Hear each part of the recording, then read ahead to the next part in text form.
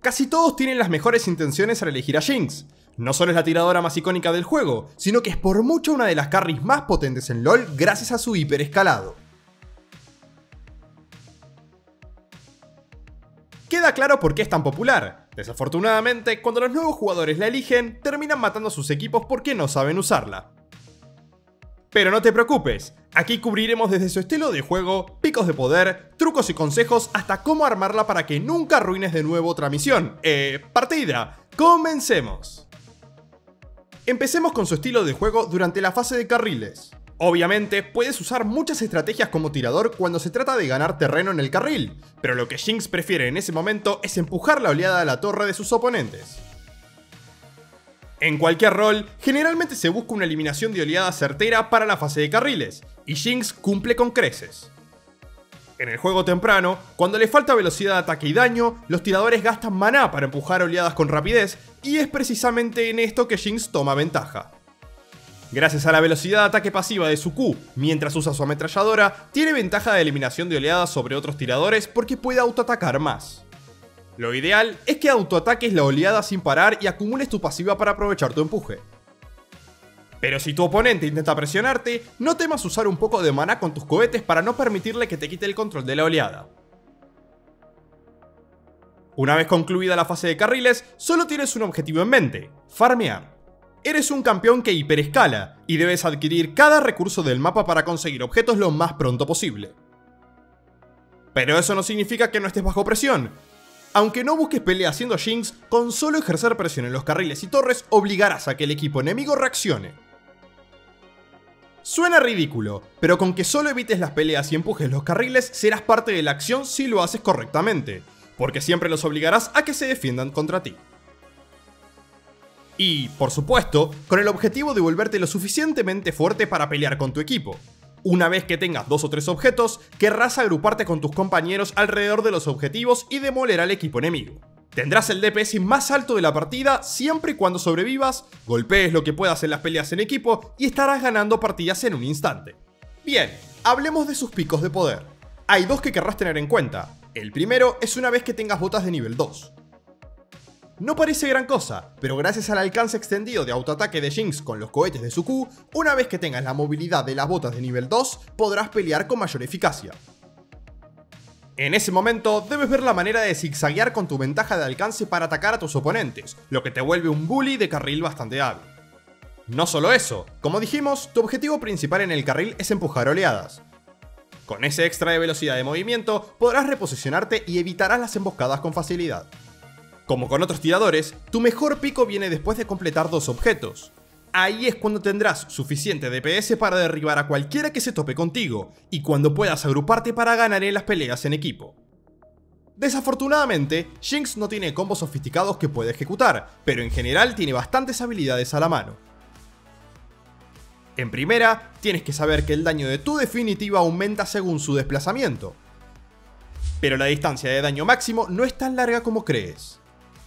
Para infligir el máximo daño posible de tu definitiva, necesitas el alcance máximo de tu W. Pasar este alcance no aumentará el daño y es muy importante que lo sepas cuando quieras matar a alguien.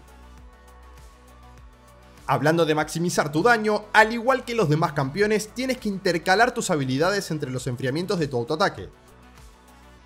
Eso significa que, si estás dentro del alcance de tu autoataque de tus oponentes, usarás autoataque, habilidad, autoataque y luego una habilidad. Esto maximiza el DPS al no desperdiciar los enfriamientos de tu autoataque mientras lanzas tu definitiva IW. Lo último para obtener el DPS óptimo es que recuerdes que siempre debes cambiar a tu ametralladora si tus oponentes están dentro del alcance, pues hace mucho más DPS a un solo objetivo que tus cohetes. En cuanto a tu E, ten en cuenta que tus mascafuegos tienen un tiempo de armado que los hace difíciles de colocar. Normalmente elegirás a Jinx con un soporte con algo de control de masas, así podrás usar E mientras tengas a tu objetivo en la mira y te garantiza que se estará. Recuerda que eso no funciona para ciertos campeones, por ejemplo, el aturdimiento de Pantheon es bastante corto. Si intentas lanzar E, probablemente tu oponente se escabulla antes de que se activen los mascafuegos. Si sabes que tus compañeros tienen poco control de masas, como es de esperarse, usarás E. Antes de que creas que tu compañero esté a punto de asestar un control de masas, usa E. Así tus mascafuegos tendrán bastante tiempo para armarse y lograr un buen combo de control. Sin embargo, no siempre tendrás cerca de ti a un compañero con control de masas para tus mascafuegos. Lo que te recomendamos cuando estés cerca de campeones cuerpo a cuerpo peligrosos es que coloques tus mascafuegos y camines sobre ellos. Recuerda que los campeones cuerpo a cuerpo son... cuerpo a cuerpo. Tienen que acercarse para golpearte, así que mientras te pares sobre tu C, tendrán que pasar encima de ellos para alcanzarte y podrás ganar tiempo para matarlos o escapar. Por último, uno de los mejores consejos que podemos darte para Jinx es cómo golpear constantemente con esas definitivas que cruzan el mapa para que puedas anotar más asesinatos. Recuerda que es muy arriesgado hacer este tipo de jugadas, porque si lo haces para atacar a alguien y fallas, entonces tendrás que esperar el enfriamiento cuando de verdad quieras enfrentarte a alguien. Este consejo hará que tu precisión se dispare hasta el cielo, así que pon atención. Antes de lanzar tu definitiva, siempre piensa en el ángulo desde el que vas a disparar y qué tanto espacio tienes para que tu oponente lo esquive al azar. Digamos que durante la fase de carriles ves en el mapa un objetivo con poca vida. El problema de usar tu definitiva de carril a carril es que hay mucho movimiento horizontal para tus oponentes. Podrían estar en cualquier parte de esta área para cuando llegue tu cohete. Pero si estuvieras en tu base, entonces arrojarle un carril es, de hecho, mucho más coherente. Es un área reducida en la que probablemente estén tus oponentes, lo cual aumentará la probabilidad de que asestes. Por otro lado, si estás en tu base y lo arrojas a una pelea en la jungla, entonces es muy poco probable que asestes. Y si estás en un carril, entonces es el momento perfecto para que dispares en uno de estos pasillos estrechos y mates con facilidad.